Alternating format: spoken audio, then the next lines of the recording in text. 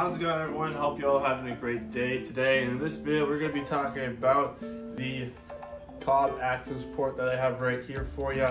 And uh, we're going to be looking at the uh, different tunes that are available that uh, Cobb already preloads on these things, along with the tune that I chose for my car.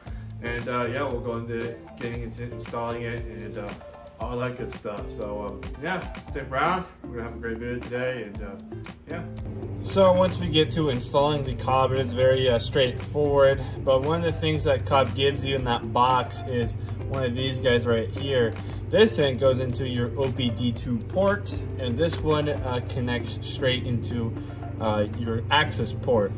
And uh, just for installation purposes, you can just have your cord uh, loose plug it in, plug it in your Cobb, and follow the instructions. Make sure everything syncs up properly and all that good stuff. So once you plug it in, make sure everything's working, all your uh, your car is synced up properly.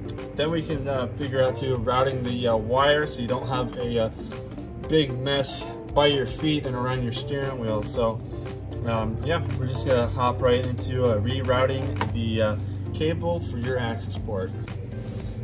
All right, so the next thing we're gonna be focusing on is getting a good spot for that cable to come through. And the first thing we wanna do is we can just pop this uh, fuse uh, panel uh, out for now. That'll give us access um, to under the dash later when we need to feed that wire through. through. And then the second part is we're gonna pop this guy off. You're gonna need a little bit of a trim tool, but this guy just pops right off. There's some clips on the back right here, as you can see. This goes back in like that. So, and the tool that I'm using is this this guy right here. Um, this is just a plastic little trim piece tool. I mean, you could use it on, on doors and obviously on dashers and stuff like that. Uh, it's just just a nice little plastic tool to make sure that your uh, your plastic, your interior plastics don't get scratched or anything like that, or dash surfaces, you know, stuff like that. So you're gonna need definitely need one of these guys, and then you can go ahead start feeding your wire through, and uh, seeing how much uh, slack you'll need to uh, be able to hook and unhook your access port. So uh, yeah, I'm just I'm just gonna keep uh, going away on, on this making sure our uh, cable is nice and tidy and still plugs into both of its spots, that being the access port and the uh, OBD2. And I'll pick the camera back up once we uh, get everything put back together, so. All right, update time. Um, my original plan was to just snake it up up here and then just kind of tuck it in this gap right here. And I was thinking, this isn't really working very well, but I did manage to uh, get it up here. So, if you don't have the uh, vent mount uh, for the access port, like I, I don't, I don't have the uh, access port mount. I just keep it on the windshield. But my plan was I was just going to either modify my vent or just see if this just slides right through. And um, yeah, so I managed to get get uh, well, it's gone now, but but I managed to get the uh, cable ran um, through up here. And it turns out, as I haven't watched a video before, but it turns out that there is just a uh, Phillips head right here. Oops, there is a Phillips head that goes like right right there take that out and uh, this whole panel just kind of uh, floppy johns it right down there. And then uh, that gives you the space to uh, wire your cable up and throw it into um, this guy. So yeah I don't know what exactly I'm to do with my uh, stock mount. There's uh, looks like the hole should be uh, relatively big enough. So um, I'm gonna see if the uh, cable goes through there. And uh, yeah, we're just gonna keep chugging away at it. And I'll keep you, I'll update you when uh, this horrific mess is uh, dealt with. It looks way worse on camera, but in person, it's, it's, it's, it's not, I promise you. Alrighty, so I just ended up wrapping up the uh, whole center console here, put everything back together.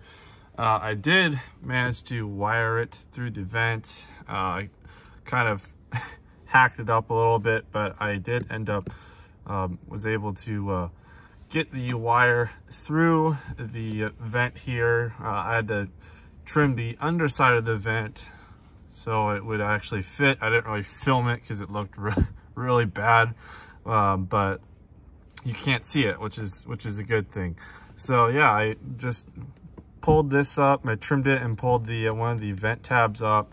Now I was able to uh, put the wire through here, and like I explained in the last clip, um, I couldn't really get to fit up the sides right here. So what I ended up doing was um, I just routed it from the bottom all the way up.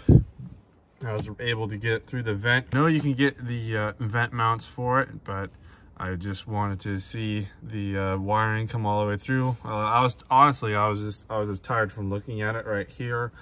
And before I got the uh, vent mount, um, I just wanted to get the uh, wiring out of the way and then um, once that comes in, I'll just uh, swap it out and we should be uh, all, all good to go there. But as you can see, everything's working.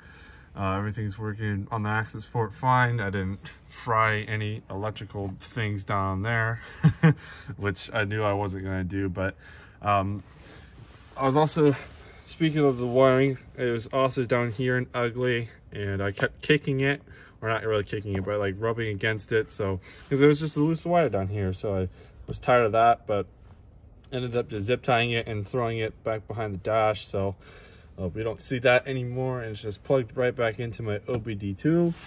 But uh, yeah, everything is working as it should.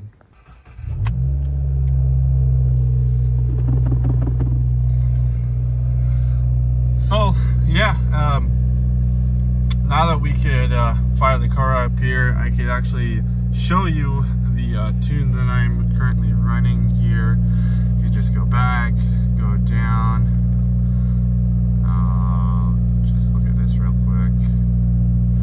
let it do its thing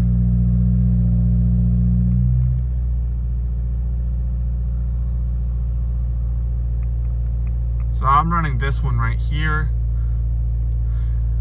This is the uh, refresh only, stock intake, blah, blah, blah. Everything that I have, um, stock intake, uh, you know, I don't have a full catback or I don't have a uh, J-pipe or anything like that.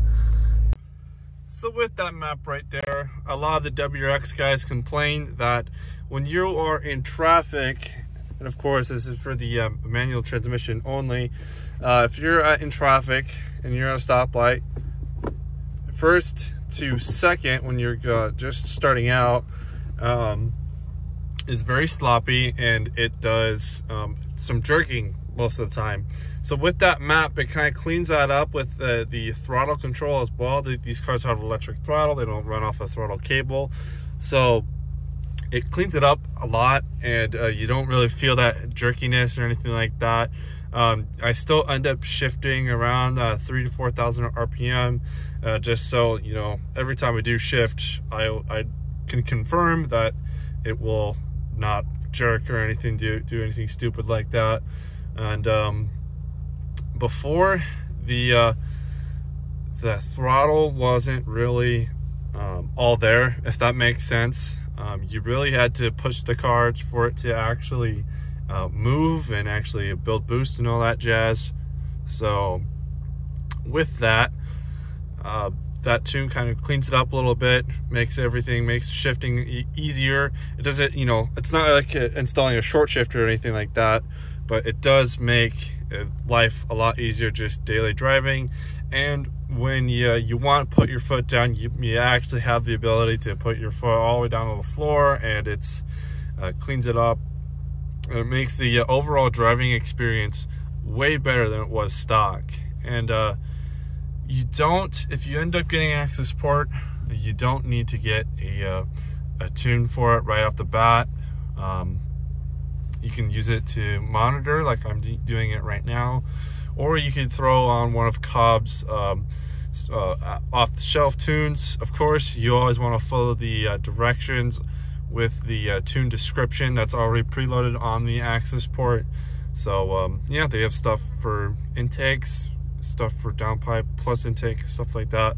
So yeah, it's just a really neat tool to use and uh, especially with that uh, stage one, not the stage one plus, but the uh, stage one, cleans up the just the pleasure of driving this car every day like I do. So if you're thinking about getting a WRX or you currently have a stock WRX without an access port, get an access port, change your life forever. So uh, now we're going to go into some driving clips I took the other day because I have had this tune on for a while now. So here are just some clips I took the other day. This is just me driving in stop and go traffic. The car is actually handling phenomenally to with the uh, transmission standpoint. Of course, it's a new car; it's going to handle fine. But besides the point, I, I don't have any before clips of me without the tune unfortunately. And it is kind of hard to demonstrate through at least through video uh, just the driving experience of it. I mean I can just say it's great all day but you the viewers don't really understand how it actually feels like. Like you can't just hop in a video and start driving my car. But it honestly feels great. If you've driven a stock 2015 plus a WRX, then you know these uh, transmissions are more on the sensitive side. So you kind of have to uh, drive it kind of aggressively to uh, not have any of that jerking going on. So with the stage one tune from Cobb on there, with the stock intake, stock exhaust, all that good stuff, it cleans it up, cleans up the uh, transmission pretty well. Of course, this only works for the manual transmission. I'm sure there is some for the uh, CVT automatic, but overall, this is just very fun. More, definitely more dayable than anything. Of course, I've yet to put my car on a track and uh, see how that goes, but overall, I'm very satisfied with it. And if you have a 2015 plus WRX, and nothing else onto it and you just bought a Cobb, that's definitely the first thing you do. But plenty of other reviews out there that have said the exact same thing I have, so